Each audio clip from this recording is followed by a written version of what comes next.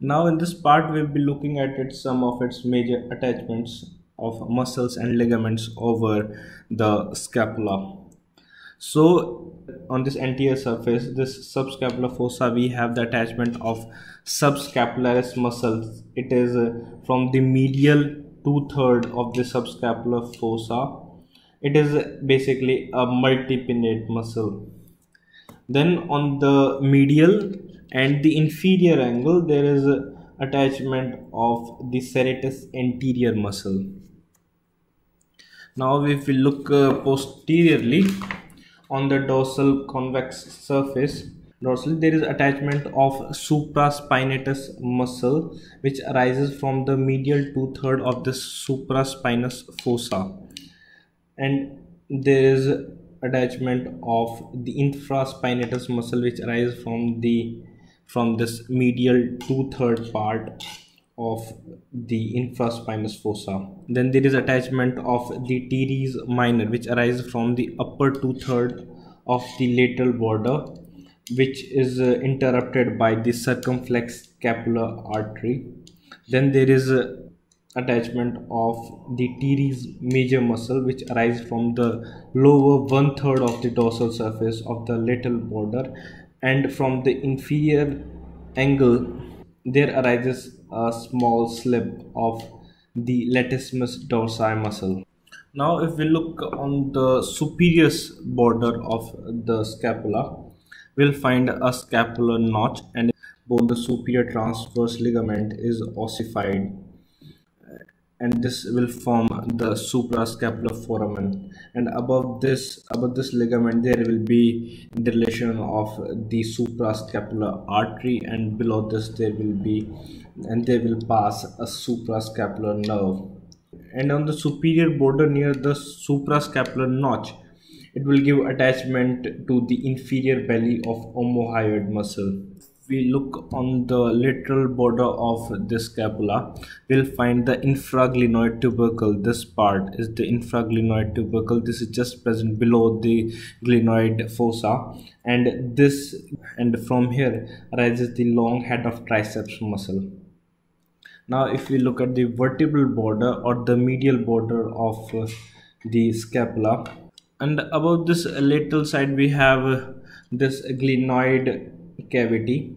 A fibrocartilaginous rim that is the glenoid labrum it is attached over to the margins of this glenoid cavity or these margins to deepen the concavity of this of this fossa. Now there is also the attachment of capsule that is attached just to the margins of the glenoid cavity and proximal to the attachment of the labrum. So we have attachment of the labrum then there is attachment of the capsule of the shoulder joint along its rim. Then there arises a long head of the biceps brachii. From the supraglenoid tubercle this part is known as supraglenoid tubercle. This is a, this part is superior to the glenoid cavity. And you must also know here that this uh, origin of the long head of biceps brachii uh, from the supraglenoid tubercle is intracapsular. It is it forms within the capsule of the uh, of the shoulder joint. Now if we look at the spine of this scapula the trapezius muscle is inserted to the upper lip of the crest of the spine on this part. And while the posterior fibers of the deltoid takes origin from the lower lip of the spine of the scapula.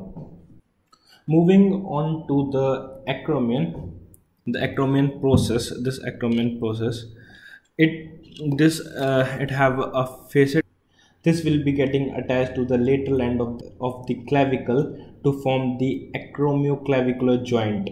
Now this have got a medial border and a lateral border. The lateral border will give the origin to the intermediate fibers of the deltoid muscle and the medial side will give insertion to the trapezius muscle and on the tip of the acromion there is there will be attachment of the coracoacromial ligament. Now moving on to the coracoid process. this part this hole will be giving attachment to the three muscles that is the short head of biceps brachii coracobrachialis and uh, the pectoralis minor and three ligaments that are the coracoacromial ligament coracoclavicular ligament and the coracohumeral ligament so now we'll look at the first that is the now firstly we'll look at the short head of biceps brachii and coracobrachialis. Arise from the tip of this by a common tendon. Then comes pectoralis minor muscle which is inserted on the medial border of the upper surface here. This will be giving attachment and insertion to the pectoralis minor.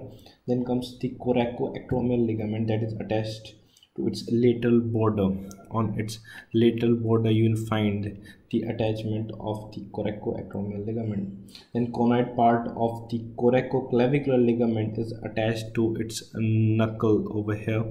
And the trapezoid part of coracoclavicular ligament is attached to the superior most superior region of this part. And this will give attachment to the coracoclavicular ligament uh, trapezoid part and then there will be on its knuckle part it will give attachment to the conoid part of the coracoclavicular ligament. And the last the coracohumeral ligament will be attached to the root of the glenoid cavity here. So these were some of its attachments of the muscles and ligaments. Thanks for watching